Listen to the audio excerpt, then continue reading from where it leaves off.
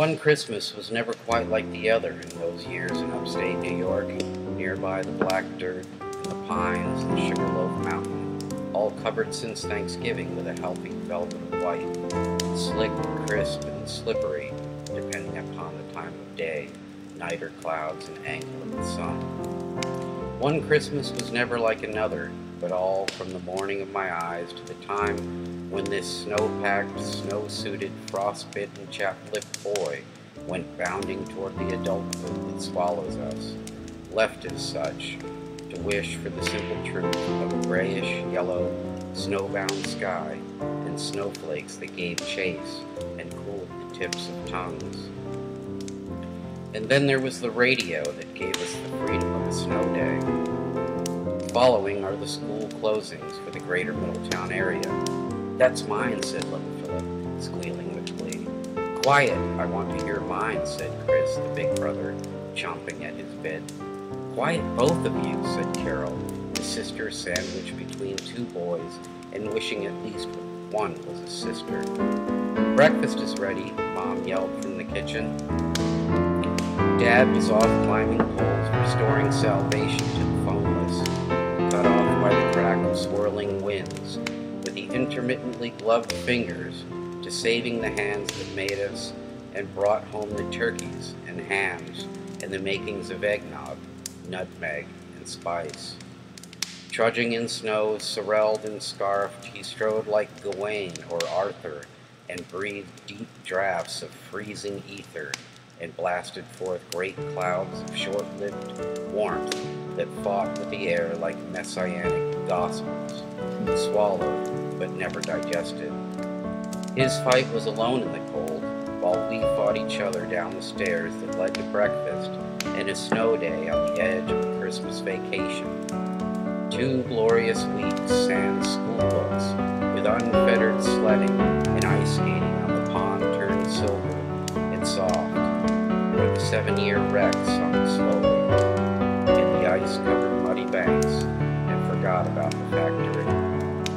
brick factory and all its industry now defunct, but read and lettered forever in the walls of my school and every home rose from its opening to its closing decades later. Its oral history, a tradition known only by the few who dabble in trivia of living things and lives once led.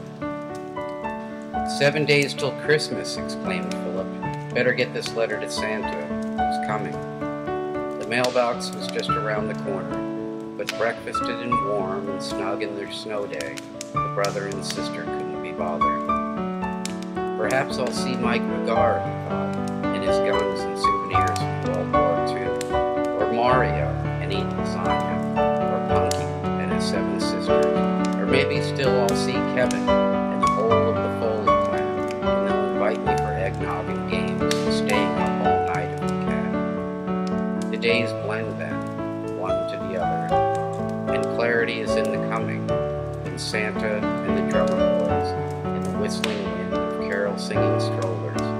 muffler, mitten, and smitten with the instance of meeting a thankful face and regular requests for more. Should we shovel driveways? Old Mr. Dinatoris might slip and fall, said Philip. He pays good, too, replied Chris, while on his way to becoming an accountant. You're like Ebenezer, said Philip. No, I just know what makes things go round. Come on, little man, I'll split it with. Each driveway seemed to say something about the occupants of the house. This one had two strips of cement, and one must be careful to keep on the track, and at the same time, in spring they had more places for grass to grow. Another was blacktopped and been potholed, and it might be said these folks could scarcely afford our labors, and it was Christmas spirit that gave them to open their purses to two boys of seven and eleven. The Fancher's house was a grail of sorts, and shiny. Miss Fancher, the lollipop lady in summer, had a park named for her, and the icicles that hung from her long porch glistened like silver Corinthian columns, and we'd get five dollars for just the walk, and tipped with candy canes for the family. You boys be good now. Santa's watching. And be good to your mother and father, she'd say, as we left now, moving to the far reaches of a tundra which seemed to encompass the known world. Brother would then tell of Jack London and the Yukon and cutting dogs open to keep your hands warm. I'd be glad that home was just a block away and that we hadn't a dog for brother to butcher. Flour, sugar, water, ginger, oil, baking soda, and salt. Dry stuff first, then wet, mixed in a Pyrex bowl. Heat it, roll it, cut it, allowing for windows and doors, then bake it. White frosting mortar, red and green M&Ms, peppermint candies, and red hots. The kitchen is filled with the heavy scent of gingerbread. Now don't eat too much of the icing. It'll make you sick and rot your teeth, Mother said. Okay, Mom, but my stomach already hurts. Drink some club soda. And Carol, can you hand me the ice? A classic salt box blueprint, pressed in the pages of a 1962 Betty Crocker cookbook. The instructions written in a hand long since passed on. It's important to get the first two walls together straight and strong. Here, Mom, I'll hold them, says the little boy. Thank you, Philip. And Carol, can you get me a wet towel? Mom breathes heavily through her mouth, though her lips are close together. The air almost makes a whistling sound, and Philip thinks how like music or the sound of the wind it is. Mom is copying the weather outside, he thinks. Jack Frost north winds blowing across the continent and threatening to collapse the gingerbread walls. The weather sent Dad out on overtime, fixing phone lines. Her thumb struggles against the icer and turns red in places, and flushes to white in others, and the pressure looks to Philip as if it might hurt. Hard to push that thing down, Mom. Yes, but I've got it. It shouldn't come out too fast or too slow. Do you want to try it? You better do this first part, Mom. I'll try on the next one. Okay, hold the two walls up and steady. Philip holds the walls up and hopes his hands won't shake or wobble. He feels his shoulder muscles tighten and his fingers tense. He starts to breathe like his mother, and now he's Jack Frost. Steady, said his mom. I'm trying, says Philip. Mom squirts the icing all down the length of the walls where they make a corner together. Okay, she says, and motions for Philip to let go. Mom then wiggles the walls so they fit tightly. Hold them again, please. She squirts more icing on the inside and the outside of the walls and leans and takes a long, satisfying breath. You guys want to go out now and play. This is going to take a while to dry. I'll get my sled, says Philip. Your big brother should be down by the pond. Get your warm jackets on, and I'll see you in about an hour. Sister Carol has the watch, and Philip admires that she will be the one to know when it's time to come back.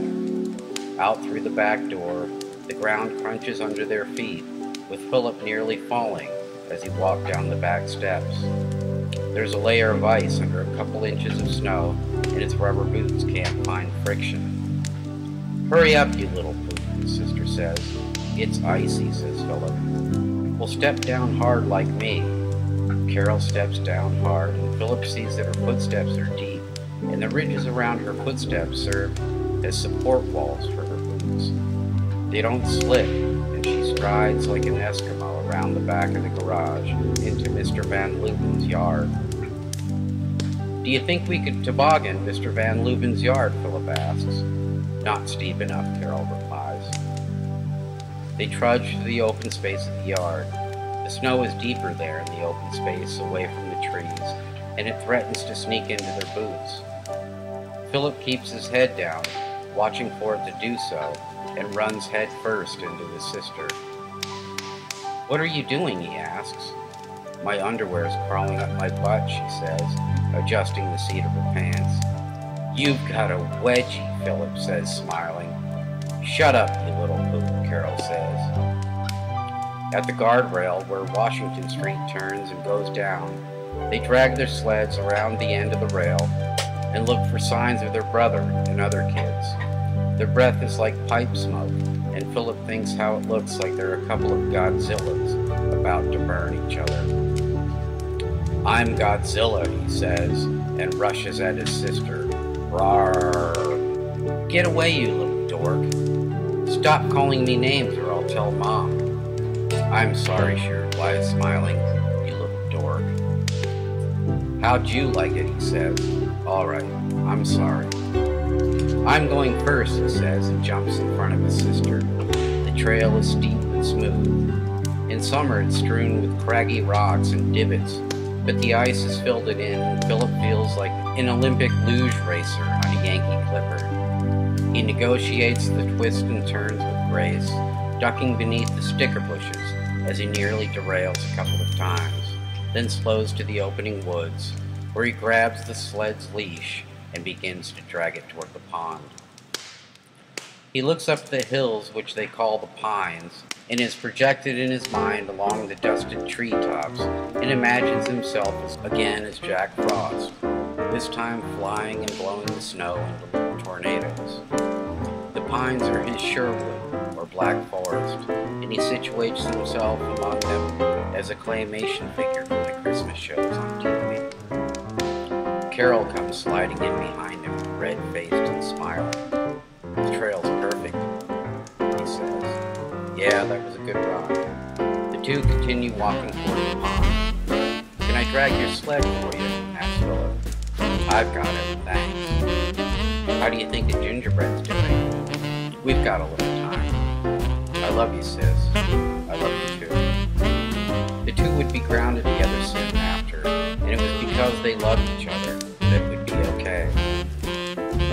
Snowmen rolled in spheres that revealed the green of grass beneath, and stacked in threes we endeavored to emulate the lights of which we'd seen on TV with and Hermie, Silver. Yukon Cornelius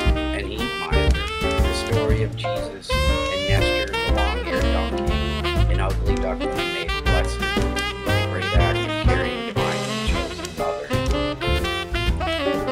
In the evenings, when Dad returned from the Siberian drifts and pole-high wind chills, we huddled on an itchy couch and wound ourselves through a concert of five voices in the firelight. Mitch Miller songbooks chocked with chestnuts roasting, winter wonderlands and merry gentlemen resting, chimes of silver bells and memories of our grandparents in Yonkers, and the clean streets of Manhattan, made glorious with garlands, and chock full of nuts cups of coffee, and hot chocolate with peppermints. The buildings lit like candles dancing toward a sky that reached for the convening of Santa's race around the world.